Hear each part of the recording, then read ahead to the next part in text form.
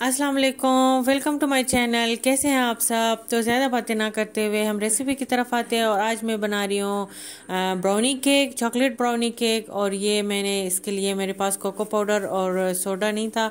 तो ये मैं लेके आई हूँ और ये कप जो है, ये नापने के लिए मैंने रखा है। तो इसी से मैं सारी चीज़ें ऐड करूँगी। और अभी जैसे आप लोगों ने देखा तो एक कप मैंने चीनी डाला है। और दो मैंने इसके अंदर अंडा ऐड किया है और मैं इसको बना बना रही हूँ ग्लेंडर में।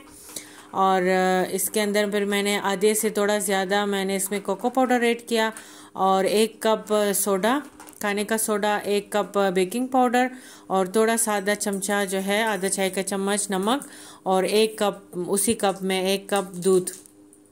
और अभी ऑयल भी मैं भूल गई थी ऑयल भी ऐड करूँगी, थोड़ा आधे से थोड़ा ज़्यादा।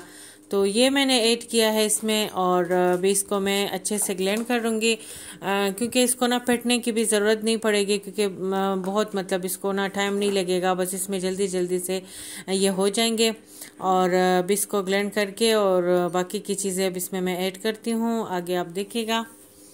तो ये अब जब लास्ट में ये बन गया था तो आप देख ले कि काफ़ी मज़े का बना था, बहुत ही सॉफ्ट और जूसी अंदर से बना था, बहुत ही मज़ेदार यमी सा तो आप लोग भी ज़रूर ट्राई कीजिएगा।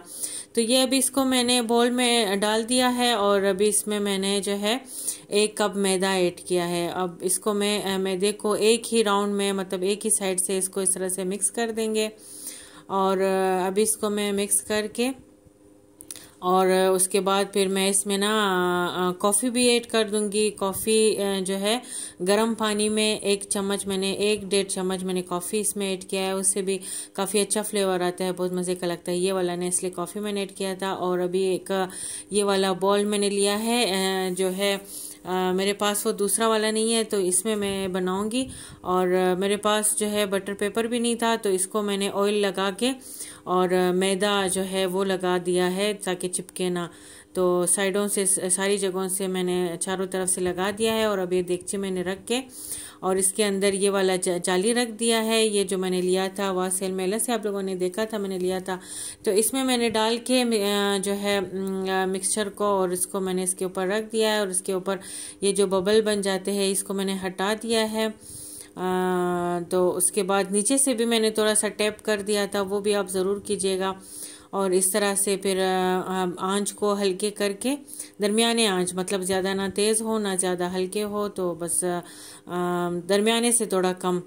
तो उसको मैंने रख दिया और अब इसका मैं चॉकलेट सिरप बनाऊँगी ऊपर डालने के लिए। और मैंने जो है आइसक्रीम भी मंगवाई थी आइसक्रीम मैंने इसके साथ ना ब्राउनी केक के साथ ना वनीला आइसक्रीम काफ़ी मज़े का लगता है। तो वनीला आइसक्रीम था नहीं तो फिर पिस्ते वाला आइसक्रीम बेटा लाया था तो बस उसी के साथ हमने काफ़ी इंजॉय किया, बहुत मज़े का आया था, बहुत मज़ा आया। तो इस तरह से बन गया था और चॉकलेट सिरप मैंने उसमें दूध मिलाया था थोड़ा सा चॉकलेट में। और ये देखिए कितना ये स्पंजी बना है, बहुत ही ज़्यादा यमी बना था। आप लोग भी ज़रूर ट्राई कीजिएगा। तो चॉकलेट में मैंने थोड़ा सा फिर मैंने मक्खन भी ऐड कर दिया था, मक्खन और दूध। चॉकलेट मैंने वो वाला लिया था। मैं ग्रोसरी करके आई थी ना तो उसमें मैंने वो न्यूट्रेला चॉकलेट लिया था।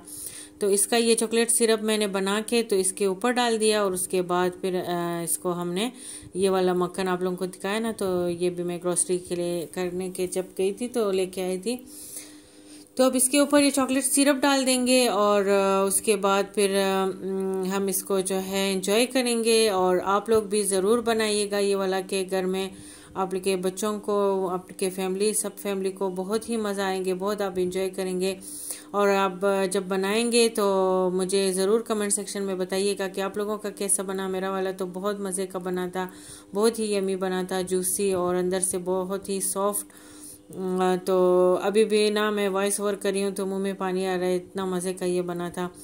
तो आप लोग भी ज़रूर ट्राई कीजिएगा तो आप लोगों को अच्छा लगेगा और मुझे कमेंट सेक्शन में ज़रूर ज़रूर बताइएगा कि आप लोगों का कैसा बना। तो बहुत ही आसान, बहुत ही सिंपल और बहुत ही जल्दी बनने वाला ये केक, ब्राउनी केक बन गया है और ये हमारा जो है आइसक्रीम में मंगवाई थी मैंने। तो इसके साथ ना, ब्राउनी केक के साथ आइसक्रीम का जो बिल्कुल ना कॉम्बिनेशन कंप्लीट हो जाता है, बहुत यमी मज़े का लगता है। तो आप लोग भी ज़रूर ये ट्राई कीजिएगा। मिलती हूँ मैं इंशाल्लाह नेक्स्ट किसी ब्लॉग में या फिर रेसिपी में। टिल देन अपना बहुत ज़्यादा ख्याल रखिएगा, मुझे दुआओं में याद रखिएगा। अल्लाह हाफिज़। और अगर आप लोगों को मेरी ये वीडियो, ये रेसिपी अच्छी लगी हो तो प्लीज़ लाइक कीजिएगा मेरी इस वीडियो को एंड सब्सक्राइब ज़रूर करें। और इन मैं और अच्छी अच्छी रेसिपी के साथ आप लोगों के सामने हाजिर हो जाऊँगी। अल्लाह हाफिज़।